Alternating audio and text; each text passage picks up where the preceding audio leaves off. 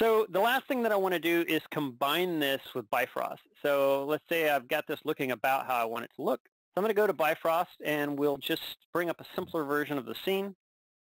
And what I want to do here is actually go in and solve based on the original position of this rigid domino. But I don't necessarily want to use the, the original domino itself. So this is actually the double blank domino that I have kind of positioned in the right place. But I don't necessarily want to use that for the Bifrost liquid. So I'm going to hide that. And instead, I created a kind of a simpler, lower resolution version of this. So typically, kind of the lower resolution shape is going to work better uh, than bringing in the full high resolution shape. But it's still the same general volume. And what I want to do now is actually create a liquid from that. And what that will do is it will just fill that volume with particles. Problem now is I can't really see them. So the first thing I want to do is just go in and find the point size and increase that. That doesn't change anything except for the visual representation. I might even want to make that a little thicker. So that gives me the kind of a visual representation, but it doesn't change the behavior of the density. So when I push play, what's going to happen is, much like the cloth did earlier, those points are just going to kind of fall through space and just keep going forever until they have something to collide with. So let's actually hide this domino. And let's just focus on the liquid right now. I'm going to take this uh, volume, this or rather this Bifrost object, and I'm going to shift select the ground. Actually, the ground I have hidden. I just have a simple ground plane. Uh, I just created something very basic for the ground, and I'm going to hide it. But I want to go in and create a collider, and then I'll just hide that ground plane. And now when I play this back, the particles are going to fall to the ground, and they're going to collide with the ground, and then they're going to begin to scatter. So I've got the beginnings of a liquid simulation. It's very, very primitive at this point. Uh, I might want to also go in and incorporate that other domino. So I'll bring in the other liquid domino that I had here. Whoops, wrong one. Let's bring in the deflate domino, rather, this one. And this is actually the original cache uh, for that uh, cloth solve that I did before. I can scrub that. I want to actually use that as a collision object. So that's uh, no problem. I basically just go in and select the Bifrost object, shift select the collision, and then I just go in here and just say add collider.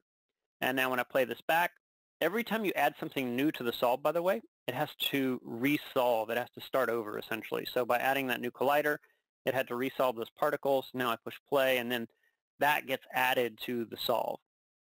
So it might slow things down a little bit, but not dramatically. And then now you can start to see it kind of displace those points, but it's really, really hard to see still because I have such a low resolution.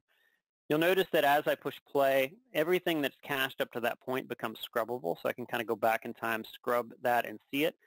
But again, I can't really see what's going on because of the density. So I have a few options. So I have a few different nodes. I have the liquid shape node, which is the basically the output. The liquid shape node controls what it looks like, and it controls how it renders. So for instance, am I viewing particles, or am I viewing voxels, or am I viewing meshes? So I have the ability actually to go in and, and view a mesh, uh, and I can kind of start to see what that looks like. But even still, it doesn't quite look right. So I'm going to go back a step and, and go back into particle mode. And instead of changing the display, I'm actually going to go upstream and Instead, I'm going to go to the Bifrost Liquid Properties node.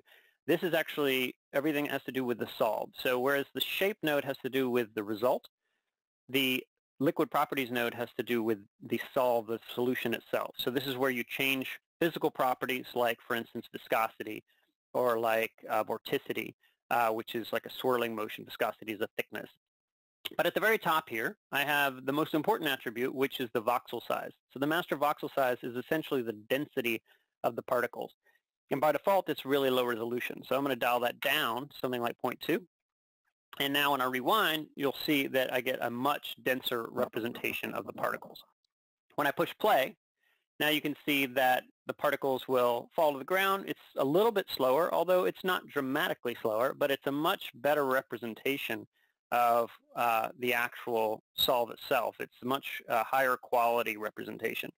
So now when I rewind this and scrub through, I can really start to get a feel for the behavior and I can start to really see the collision. You can also see the color coding where it's white means there's a higher velocity, where it's blue it means it's going slower basically. I can immediately tell I've got a little bit of a problem where I have kind of this weird kind of buffer between the two shapes. Uh, that basically is a collision uh, issue. So I can change that on a per object basis. So remember I had the ground collider. Uh, if I go into the conversion settings, I've got resolution size for each collider, but I also have a thickness for each collider. So I'm actually going to dial down the thickness for the ground. And also I created a separate collision for the domino. I'm going to dial down the thickness for the domino. And now that's going to be much more in line with uh, what I want. So now the domino is going to collide kind of more directly with those particles, and I won't have that weird kind of buffer. Now the other problem that I'm seeing is that the, the liquid just immediately falls to the ground. But really what I want to do there, actually looks a little bit better there where it's displacing it. What I really want to do is have the liquid start right as that domino is hitting it. So I want it to look like the domino is causing the, the liquid kind of uh, collapse. So I'm going to scrub through and just kind of eyeball this. I'm going to say right about there is where it's going to collide. And that is frame 22. So I mentioned the two nodes. I've got, if I grab the Bifrost object, I've got the shape, which has to do with the output of the Bifrost uh, solve. And then I have the liquid properties, which has to do with the input. And then at a higher level, I have the liquid container, which has to do with more of the higher level solver. So this is what kind of uh, evaluation are you doing? Are you using a cache? And also things like the start frame. By default, it always starts at 1. I instead want to have it start at 2, or sorry, 22. So now when I play this back, it doesn't do anything until frame 22. Then the particles kick in, the solve starts, and now it makes it more or less look like the, the cloth domino is now creating that collision and then it's kind of collapsing in and around it. So a couple other things to point out is that you can really get a, a lot of uh, detail as far as the the way this liquid looks just based on the particles themselves. Like you can really see a lot uh, in the, the motion of the particles to get an idea of what that's going to look like. Uh, but sometimes you need to see a little bit more detail. So I mentioned you've got a couple of different modes. So you've got the voxel mode, which which is a little bit more, it's, a, it's volumetric particles basically those particles with volume. And then I've got the, the geometry mode, which actually gives me um, a mesh, which kind of gives me an idea of what that's going to look like, although it's not quite accurate at this point, which I'll explain in a bit. But let's undo that and point out that you can also just quickly go into Arnold. So just set up a few lights and then just bring up your Arnold render and that will immediately render your Bifrost particles. So Bifrost particles can be directly rendered with Arnold. Uh, you don't have to convert it to a mesh. And all it does is it uses an Arnold shader. So if I were to go in here and uh, go to the end of this, I've got an Arnold shader attached to this, and I can just change the settings for the Arnold shader where I can go in and I could say, well, I want this to be shiny red balloon, and it'll switch the shader uh, parameters accordingly, or I might want to go in and make this, uh, you know, more of a milk or something like that. Actually, that's a little bit too transparent, but I might want to make this, actually, let's make it something really obvious, like a gold. So it's just using a standard Arnold material uh, for this, and I've actually got a preset here for the uh, ivory, so I can switch over into the same exact material that the other domino is rendering with. So you'll see the domino on the ground is rendering with the same material that the domino here is rendering. One other thing to point out about rendering is that if you grab the Bifrost node, I'll pull this up a little bit, there connected to the liquid shape is an Arnold tab. And if you go to the Arnold tab, you can actually change the way that Arnold is kind of interpreting these particles. So in other words, for instance, am I rendering out voxels or am I rendering out particles? You'll get different results depending on the mode you're in. Uh, you can also go in and you can change things like the uh, the particle rendering parameters. So right now I've got a really high surface radius. So I could dial that surface radius down and it's going to give me a, a thinner uh, or less thick object. I can also go in and I can do smoothing. So I can say, for instance, let's add a little bit of smoothing to this, and it's going to round out all those corners and get rid of all those droplets.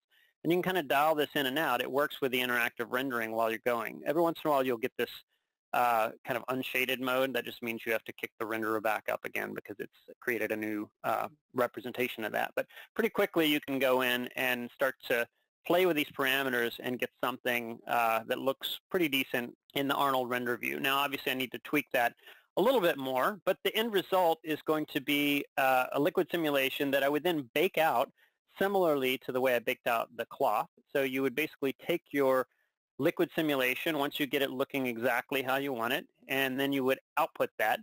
uh, or rather cache that out. So you go to Bifrost, and there is a compute and cache to disk option. So this works very similar to the to the nCloth example that I showed, except it's creating a different type of cache. It's an nCloth, or rather, sorry, a, a Bifrost cache.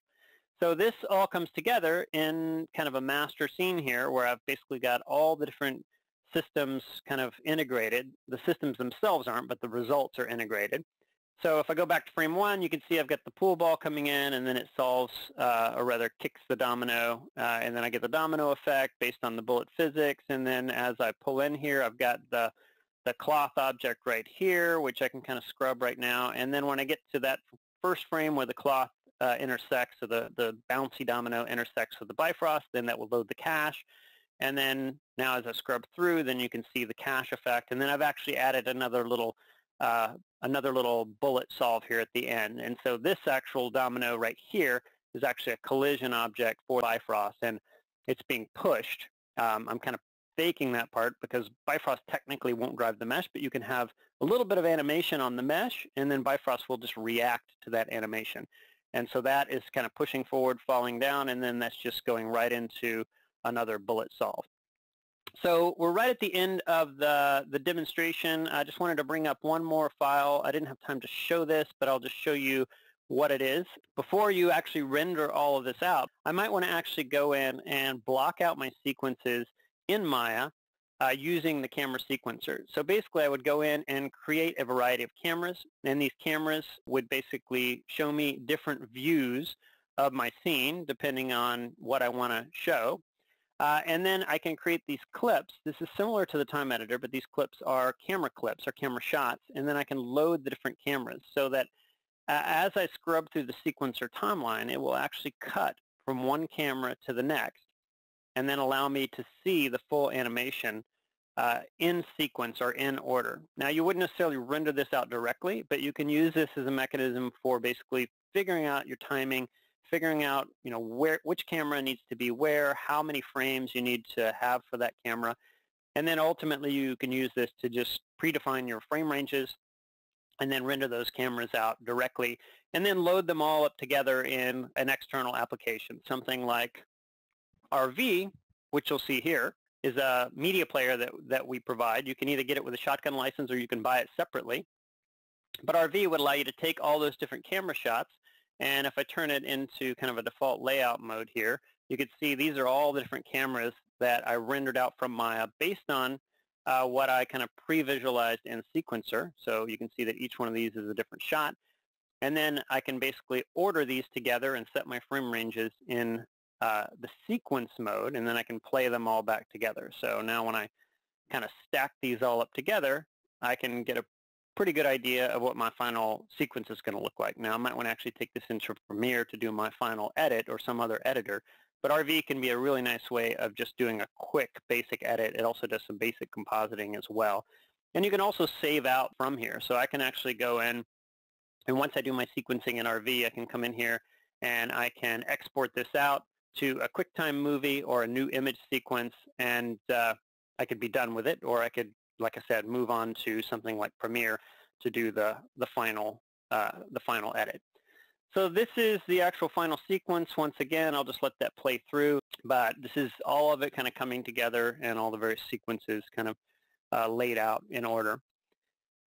So that pretty much wraps it up. Again, uh, as I mentioned before, I've got a, a couple of different online things that you can check out if you like the kind of stuff that I showed today and you want to learn more about Maya, uh, go to the Facebook and like the Facebook page, Maya Maya, go to YouTube, uh, follow the YouTube channel, and then also occasionally I'll do some posts on Autodesk Area website, which is a community portal uh, for all of our various entertainment products. And I've got a blog there. Uh, but hopefully that was useful for everybody, and hopefully you'll be able to do some things with Maya that maybe you hadn't been able to do before. So uh, that'll be the end of the webinar. All right, thanks.